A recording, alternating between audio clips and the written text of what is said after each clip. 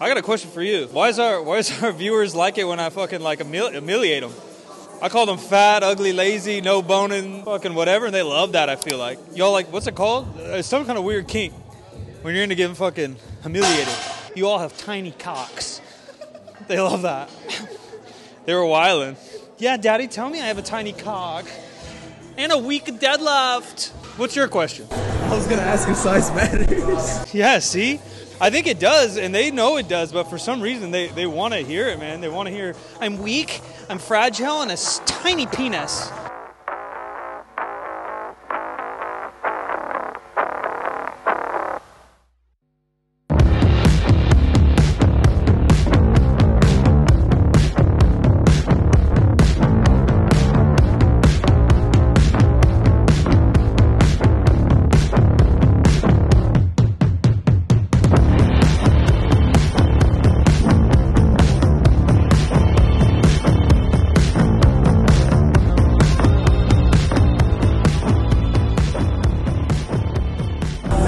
Haircut you got. Not bad, huh? I like it. Ooh, ooh. I know I didn't do what I was supposed to do. It's not long enough yet. Now, the back shimmies a little. I, th- I think we're to bleach it again. I think I'm trying to go into 2023 being your favorite Draco Malfoy, you know, on my Draco. But I don't know if that's going to happen. I think I'm to do it though. But yeah, not bad. Sometimes, talk about like building confidence and stuff. Something as little as like a, a routine to get ready, a routine for your haircut. I talk about with clothes, obviously. Like, I think I, it clicked in my head, and I always knew it, but I never like said it this way. Is like the reason I love sneakers and clothes is because it made me feel a certain way, and having that momentum and confidence in yourself obviously can trickle into anything, but in basketball, lifting too for sure. Um, but like no matter how much pep's in your step, you ain't gonna pull a hundred pound PR. But in basketball, if you got some pep in your step, I've played with the most trash kids, and they have the most confidence, and they're just lights out there's something there, you know? And so, like, I think that's life too, like how you carry yourself, how you speak, chest up kind of thing, shoulders back really matters. And so, something as simple as a haircut for me is one of my big ones. Obviously, dressing a certain way makes me feel like that too. But find out what that is for you. Everyone talks about the self care bullshit, and like, the act of it isn't the self care, right? It, it's how it affects you. A bath isn't self care, but if you need to relax, maybe a bath is an option for you. Um, so I'd look into your haircut routine, man. It makes me feel good. Kept the beard. We call it the winter bulk beard.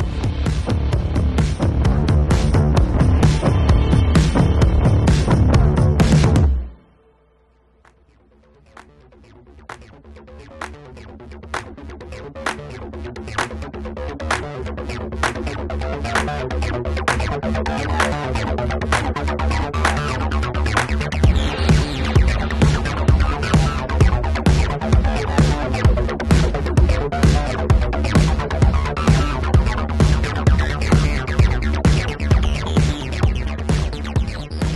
that last one feel? I think it's because I'm getting older. I don't really know.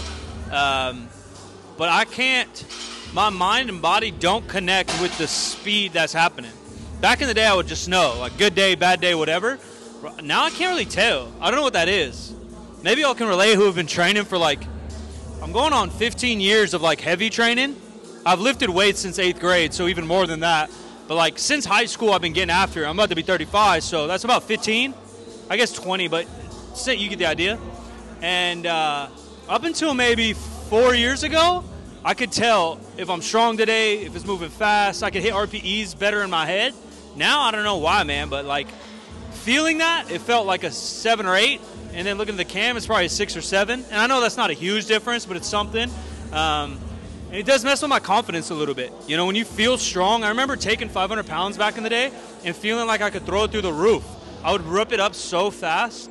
Uh, we just did a podcast with Pete Rubish, who was known for being explosive and one of the best deadlifters in the Raw game ever, let alone in that era. Literally trailblazing type shit. If you don't know Pete Rubish, look him up. And he talked a lot about that. How he used to like with the homies would like race in the warm-ups to see who could pull shit faster. You know, 400, 500, even 600. I used to be like that too. Um, and I'm still putting that kind of force and attention to this, but it just doesn't feel as satisfying. It, I don't drop it and be like, damn, I'm fast. Or back in the day, I used to be like, fuck, it's a good day. So it felt fine. Um, but we got some big weights to pull.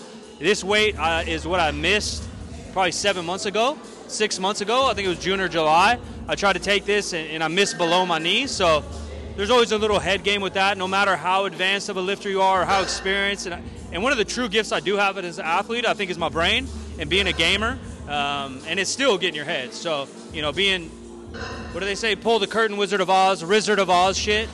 Uh, you're not alone if you kind of think that and you play the mental game. But that's why I have a routine. That's why I turn on certain songs. Doesn't really matter what the song is. I just go over there and choose a song. Um, but it, it, the process of choosing the song, hitting my camera, hitting my belt, all in the same order, gets me prepared to execute the exact same way every time, and that starts from the beginning. Does size matter?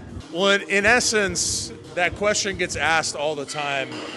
I think, uh, like for example, it's wintertime. You know, size matters in the wintertime. You know, cuddle buddy. Uh, you know, a lot of a lot of uh, females are taking cuddle buddy applications. I, I'm open. Uh, I have a great resume. I'm an established entrepreneur. I have some fluff on me for warmth. I radiate heat. Uh, so, you know, if if you're looking, I'm available. Where do they apply? Um, you can apply in the link below. There's going to be a, do, a Google Docs app below.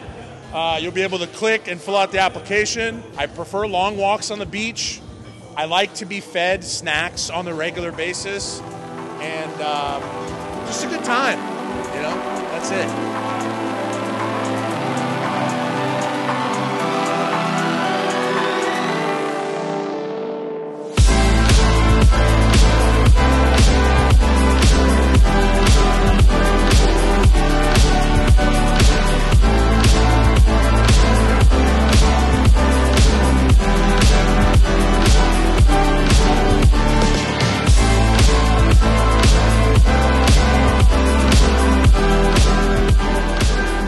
That single feel? In hindsight, pretty good. Um, you know, it's hard to say. We talked about this a little bit, but like RPEs and reps in reserve, if you guys want to get a little nerdy, um, can be correlated when you're a beginner lifter or even intermediate, but they're not the same thing. And as the stronger you get, the less correlated they become. Um, someone like a Jamal Browner, you know, who deadlifts over a thousand pounds, might hit like 950 for an RPE 8, but that doesn't mean he could do it for three or four reps necessarily. I mean, he can probably because he's a monster, but you get what I'm saying. Just because it moves at a certain speed or exertion doesn't mean that it's automatically reps in reserve means that's your point goal is how many reps are in reserve. RPE is more of kind of a speed check, and for me, anything eight or below probably means there was like no stall. I'm not the best at grinding, so this is lifter dependent. I'm more of an explosive lifter, but there was no real stall there. Um, so, which case I'd probably sit around seven and a half, eight. Uh, let me know what you guys think of the comments.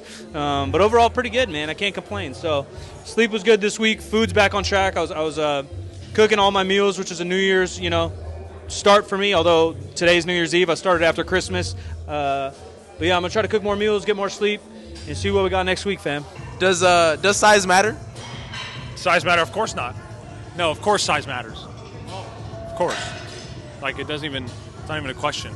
And if you say it doesn't, then you're lying, or you're insecure. And if you have a small piece, you just got to kind of own it. Like I own it. You know. Dan owns it. That's just like anything. That's like saying like. Like it sounds bad, but like, does your income matter? No, it doesn't. Uh, I mean, to people, it does matter. Um, Is that the average cock, I believe, worldwide or in America, was like five inches? Yeah. But that's all self-reported Yeah, survey. we talked about that, and it's a horrible survey. So who's going to say they're four inches? Who's going to say they're three and a half inches? That's like Liver King science on the dick. Like that shit don't cut it. It, it was there's yeah there's no peer review or nothing. I don't think. Yeah, Doc. Ten inches, Doc.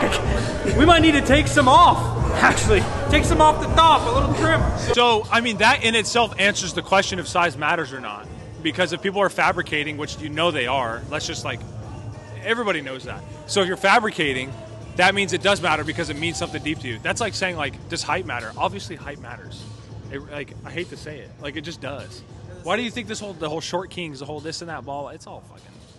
Of course it matters. I've seen my boy get denied for being short. Gee, that's true. What's that? It's like six girls at once. Does size matter? At the end of the day, I don't think it does. But here's a tip for y'all single men out there. When you meet the girl, you gotta let her think that you got a small PP. And then when you whip it out, She gonna be like, it's actually not that small. Undersell, over deliver. for my perverted friends talked about size mattering or not, the truth is, and we're realizing even more and more whether you want to base it on evidence or just um, anecdotal, but size does matter. size matters, ladies and gentlemen. That's the official uh, theme of 2023. Size does matter. Um, yes, there are some anomalies. You're going to say, wow, uh, and shout out to my boy JPG. He's calling this the new sleeper build. Well, that guy doesn't have a lot of muscle, but he can deadlift 600. You know, he looks unassuming. He doesn't look very strong. And that's going to be the case with some people. Some people are going to just have certain muscle fiber types, leverages, and be able to fire all their muscles at once to be able to lift more weight and good skill within that lift. But the majority of us, and even them, even that person that's the anomaly, we all know one, right? Weighs 150 pounds, real skinny, no muscle anywhere, still deadlifts over 500 pounds. That person, if they build more muscle on their back, hams, glutes, they will deadlift more weight. Um, to express that weight, yeah, we have to worry about programming, um, lifting fast and heavy, uh, and, and overall intensity over time. But building that muscle with going back to the IRI RIR stuff, um, closer to failure type sets on accessories, right? Especially single joint movements, we're handling less load, so it won't be as fatiguing on the system if you're a strength athlete. Um, building more muscle, having more muscle over time, which is a very lengthy process, a lifelong process, some would say, will allow you to lift more weight overall. And that's why we do things, even me, right? We're doing deadlifts, um, top set to build that strength, that coordination, that skill. Then we're doing some drop sets to build that volume, to build some muscle in the back end, right? Three by threes, three by fives, at a pretty high intensity. It doesn't have to be failure, it just has to be a pretty high intensity. Um, and then even more higher intensities, we're taking the load down, handling uh, less range, but only like a one, you know, one or two joints with an RDL. Yeah, you're using your knees a little bit, but we're doing more of an accessory with the RDLs, building muscle in the hams and glutes. Finished off with some back and buys. Same thing, more muscle, more gains, more strength. Size does matter, ladies and gentlemen. Able to something big in yourself. 3SB.co. So, Mike, we're out here. Happy New Year. And we'll catch you uh, in the next one, man, Monday, Thursday. Later, y'all.